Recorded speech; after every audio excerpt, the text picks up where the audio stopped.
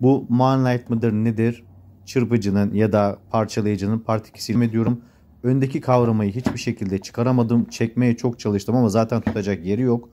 Onun için acaba ters vida olabilir mi diye buraya bir kanal açtım spiral yardımıyla. Çevirmeyi deniyorum. Yani ters diş mi diye ama ters diş de değil.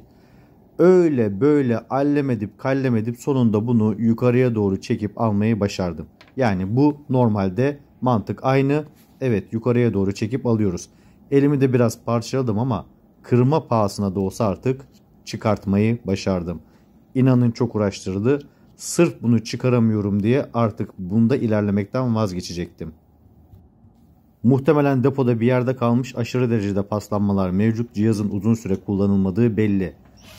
Çıkardığım parçaları sırasıyla yerine koydum, gösterdim. Aynı şekilde geriye doğru toplayacağım. Motorun üstünde iki tane civata var. İki civatayı çıkarttım. Bakarım rulman mı var, yastık mı var, burç mu var, ne var? Bakıyorum içinde burç var. Rulman yok. Ama daha da dikkatli bir şekilde incelediğim zaman burada bir boşluk oluşmuş durumda. Ve ortadaki mil ya da rotor ne derseniz deyin rulmanla değil yastıkla beraber dönüyor. Yani mil yastığa kaynamış durumda. Bakın üstteki saçtan dönüyor ayrıca. Şimdi işimiz daha da zor. Bunun üstüne bir tahta koyup üstünden biraz vurup alttan çıkmasını temenni ettim ama olmadı. Vürt'ün pas sökücüsünü kullanıyorum. Şimdi bunu yukarıdan vurduğunuz zaman aşağıda çelik yaylar var. Bunu yukarı doğru iten. Bunlar da perçinli. Yani içerideki yastık arka taraftan çıkarsa sıkıntı. Aynı şekil A'da olduğu gibi. Şimdi ben bunu bir daha çelik yayların içine nasıl takacağım? Diğer taraflar perçinli. En kötü ihtimal perçinleri dağıtacağım. Bunu kendime doğru çekerek hiçbir şekilde getiremedim. Üstüne bir tane ortası delik pim koydum. Pimle üstüne vurarak önce burcu ileri itledim. Daha sonra oynamış burcu çektire çektire yukarı doğru bir şekilde aldım. Zor mu? Gerçekten zordu. Tel fırça yardımıyla milin üzerindeki bütün pasları atıyorum. Ve artık yastık milin üstünde rahatça dönüyor. Zor da olsa bu burcu yerine takmayı başardım. Hem de çok zor. Şimdi aslında yastığın oturduğu o yuvada aşınmalar mevcut. Bu kısmın komple değişmesi gerekiyor. Çünkü motor yastığı döndüremeyince yani burcun içinde dönemeyince yastığın olduğu tarafları da burcun oturduğu yüzeyleri de bozmuş durumda. Bu sefer oradan döndürmüş motor.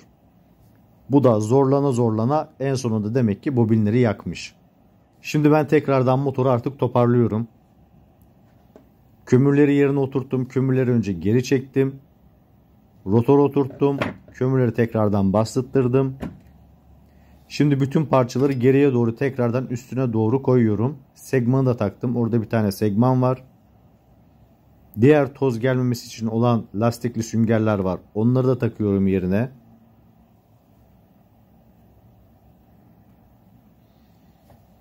Titreşim alması için motorun altında conta var. Contasını yerine koyuyorum. Ve motoru artık toparlıyorum. İnanın zor bir işçilikti. Arka taraftaki motoru tutan saç kısmında bir tane plastik parça var. Oradaki ize göre bu sacı oturtuyorum. Normalde öndeki motor kavramayı sökemediğim için motoru yapmaktan vazgeçecektim. Fakat sahibiyle yaptığım görüşmede bunun hatırası olduğunu söyledi. Bir şekilde motoru çalıştırdık ama biraz daha gidecek şekilde çalıştırmamızı istedi. Onun için o burcun oralara kadar inmem gerekiyordu. Şimdi motor kavramanın yedek parçası olsa sıkıntı yok. Yedek parçasını önce araştırdım. Yok. Yani kırıp da çıkartacaktım. Kırdıktan sonra bir şekilde motor kavramı buluruz dedim ama internette yok. Yurt dışında var. O zaman da iş astarı düzünü geçiyor. Artık her şeyi göze aldık. Yapacak bir şey kalmamıştı. Öyle ya da böyle çıkarttık. Şimdi motoru toplamaya devam ediyorum. Burada iki tane cıvatamız var. Cıvataları takıyoruz. Değerini kaybetmemiş kapasitör var. Kapasitörün ölçümünü yapmıştık. Onu güzelce yuvasına oturtuyoruz. Düzgün bir şekilde yuvasına oturmazsa arka kapak kapanmıyor. Bilginiz olsun sıfıra sıfır yapmışlar. Ölçü tamamen sıfıra sıfır. Yani 1 milim yukarıda olursa arka kapağınız 1 milim şişik kalır. Kapasitörü oturttuk. Alt kapağı taktık. İki tane bunun da vidası var. Vidaları sıkıyoruz. Ve artık cihazı denemeye başlayacağız. Motorumuz aktif. Artık rotor burcun içinde dönebiliyor. Burçla beraber dönmüyor. O kısımları hallettik. Ama burcun oturduğu yuvada halen bir sıkıntı var. Yok demiyorum. Hala ince ince boşluklar mevcut. Bu motoru zorlamayacağız. Açıkçası böyle. Bu şekilde gittiği yere kadar diğer türlü ön tarafının değişmesi gerektiği bilgisini tekrardan geçiyorum. Bıçağı taktık. Yerine oturttuk. Cihazı deniyorum. Cihaz gördüğünüz gibi çalışıyor. Şimdi cihaz çok kirli. Tabi ellerim biraz yağlandı. Cihazı mecburen temizleyeceğim.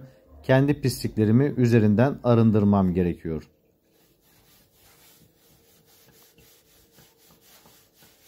Krem yardımıyla, krem deterjan yardımıyla üzerindeki lekeleri alıyorum, çarkalıyorum ve işlemlerimi tamamlıyorum. Soner abimize hayırlı olsun benden.